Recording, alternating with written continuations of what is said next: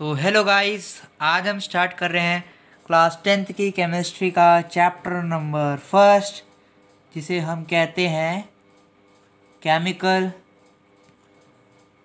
Reaction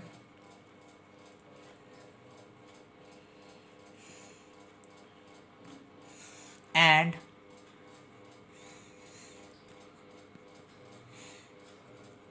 equations ठीक है? तो स्टार्ट करते हैं हम first chapter chapter number first chemical reaction and equation तो इसमें हम हमारी जो बात शुरू होती है केमिकल रिएक्शन से तो बच्चों बेसिकली केमिकल रिएक्शन का मतलब होता है जब भी दो एलिमेंट या फिर दो आप कह लीजिए कंपाउंड दो एलिमेंट कह लीजिए, ठीक है? जब भी दो एलिमेंट साथ में मिलके एक कंपाउंड बनाते हैं उस प्रोसेस को हम केमिकल रिएक्शन कहते हैं।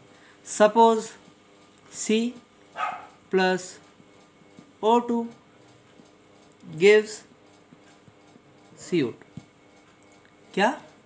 C plus O two gives C O two C means carbon सबको पता है? C means carbon O two means oxygen O two means oxygen and C O two means carbon dioxide. तो बच्चों basically ये जो यहाँ पे दिख रहा है आपको C plus O two arrow से पहले वाला, इसे हम रिएक्टेंट कहते हैं। इसे हम रिएक्टेंट कहते हैं। ठीक है? और ये जो हमारा एरो के इस साइड वाला है, ये, इसे हम प्रोडक्ट कहते हैं। इसे हम प्रोडक्ट कहते हैं, इस चीज़ को। तो बच्चों हमने क्या सीखा? हमने सीखा कि जो एरो से पहले वाला है यानी दो एलिमेंट रिएक्ट कर रहे हैं।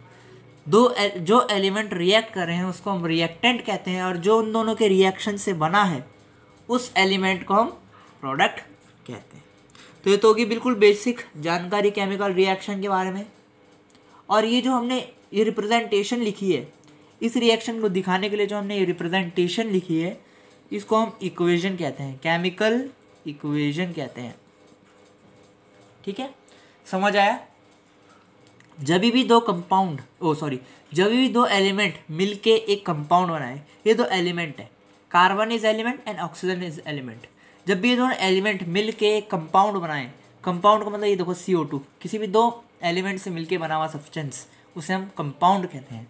जब भी दो एलिमेंट मिलके कंपाउंड बनाए उसे हम रिएक्शन कहते हैं और उसकी जो हमने सिंबलिक रिप्रेजेंटेशन ये बना रखी है इसे हम केमिकल इक्वेशन कहते हैं।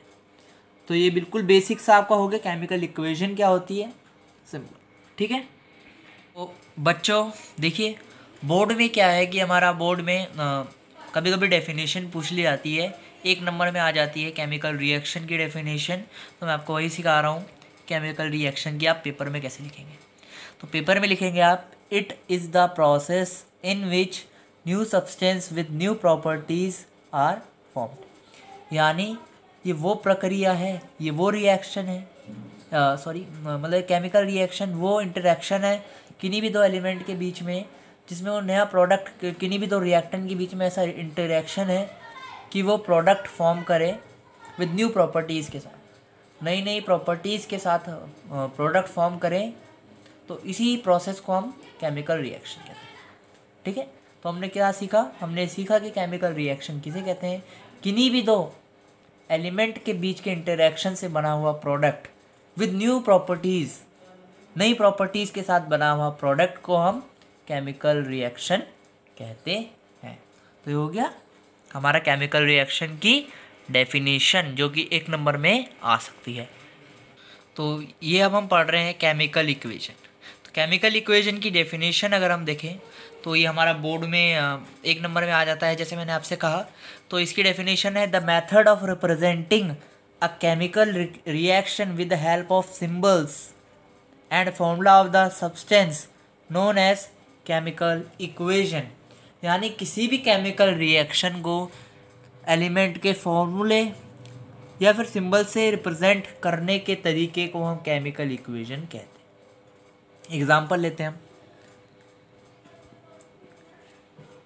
oh sorry oh जैसे कि अगर मैं आपका एग्ज़ाम्पल थोड़ा आसान सा आपके लिए लेता हूँ मैं तो मैं आपके लिए लेता हूँ। चलो सी ओ टू का एग्ज़ाम्पल लेता हूँ। C plus O two gives C O two जैसे कि हमने पिछले उसमें भी एग्ज़ाम्पल लिया था ताकि आपको याद रहे। तो देखिए कार्बन हम ऐसा नहीं लिख सकते कि carbon when carbon is added to oxygen that then it gives carbon dioxide हम ये नहीं लिख सकते। ऐसे में बहुत बड़ा होगा। तो हमें उस रिएक्शन को शॉर्ट में लिखने के लिए हमने उसके सिंबल कार्बन का सिंबल सी यूज़ करा ऑक्सीजन का सिंबल ओ टू यूज़ करा एंड कार्बन डाइऑक्साइड का symbol C O two use करा। जिससे हमारे केमिकल रिएक्शन क्या हुई? लिखने में आसान होगी। तो इसे, इस लिखने के तरीके को हम केमिकल इक्वेशन कहते हैं। तो ये केमिकल इक्वेशन क्या कह रही है?